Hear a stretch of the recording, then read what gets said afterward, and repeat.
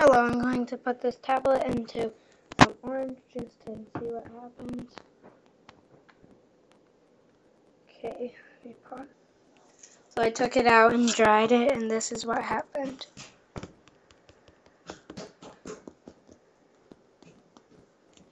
I think. So, it still works and everything, but I don't You see, it just turned off.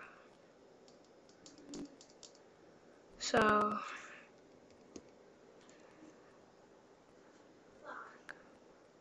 see how it's kind of dark?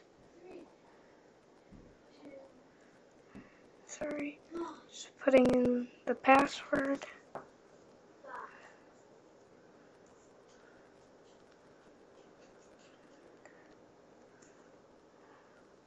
So one sec.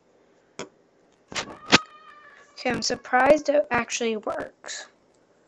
So, so, like, you see? How can it work still? So, it's pretty cool.